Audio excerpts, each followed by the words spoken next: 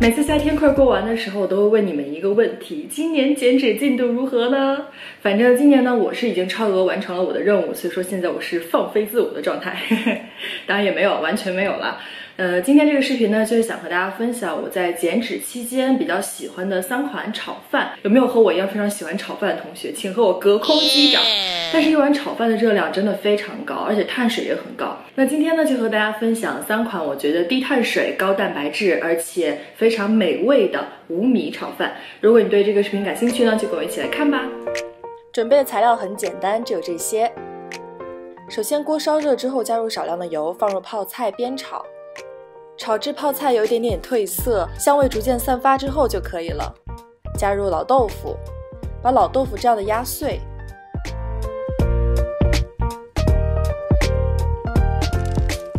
我又加了一勺泡菜汁来调味，也可以加入少量的盐和胡椒，根据自己的口味调节。最后加入碎海苔，继续煸炒一分钟就可以出锅了。这样的熔岩泡菜炒饭就完成了一半，接下来我们进行熔岩的部分。蛋清分离之后，把所有的蛋白放入一个容器中，打发至这样硬性发泡就可以了。打发蛋白两个要点就是保证所有的器皿都是干的，没有水；再者就是一定要把蛋黄完全的分离出来。像这样把蛋白霜放在豆腐炒饭上面，把蛋黄最后再放进去，烤箱二百度烤十分钟左右就可以了。柔软的云朵之上是更柔软的心，这么一款爆浆的熔岩炒饭，你们一定要学会哦。第二块，我们来做一个黑椒牛柳的花椰菜炒饭。首先把彩椒切成细条，排排坐，之后再来给我们的花椰菜剃个头。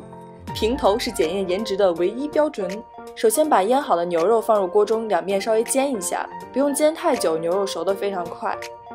之后依次加入彩椒和花椰菜，小火煸炒。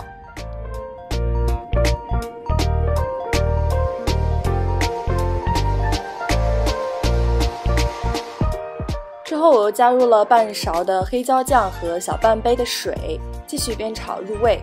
最后又加了一点点盐调味。完成后的花椰菜有浓郁的牛肉香和黑椒香味。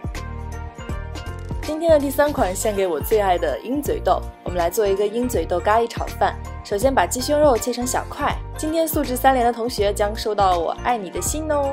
平底锅放少量的油或者不放油，把鸡胸肉两面煎至金黄之后，加入少量的脱脂牛奶，大概半杯左右。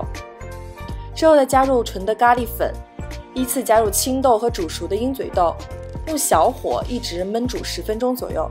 鹰嘴豆可以每次多煮一点，在家囤着慢慢吃。最后完成的鹰嘴豆咖喱，每一颗都充满了牛奶和咖喱的香味。接下来进入我们激动的试吃环节，先从这个开始吧，先从我的熔岩炒饭开始。等做好之后就一直想吃，但是要等着和你们一起吃。哇，上面这个泡泡已经有点松了。我觉得豆腐和泡菜简直是绝配，加上海苔之后又有一点海鲜的那种鲜香在里面，哇，太好吃了！你觉得豆腐怎么会有跟豆腐不搭的食物呢？而且这泡菜很好吃。其实顶上我加了这个蛋白，烤的这个蛋白，不仅是为了好看，其实你吃上来之后还有一种口感上的层次感，就是豆腐是比较实的，但这个蛋白是比较松的。单吃这个蛋白的话，就有点吃棉花的感觉。真的很好吃，我看过很多国外的那个素食博主，他们就特别喜欢用豆腐做炒饭，各种各样的炒饭，就是真的见都没见过。爱吃这个。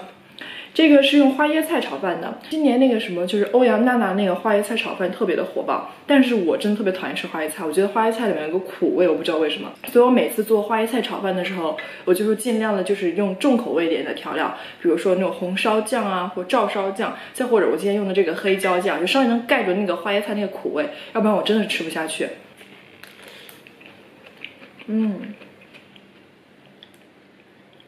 我觉得花椰菜的口感可能吃起来会更像米一点点，因为它是有那种脆脆的感觉在里面。而且这个牛肉，大家尽量就是选就是牛里脊啊，就是稍微肥的少一点，但是口感也不会太老的那种。加上我之前用用蛋液给它稍微腌制一下，所以说现在牛肉吃起来特别嫩，好吃。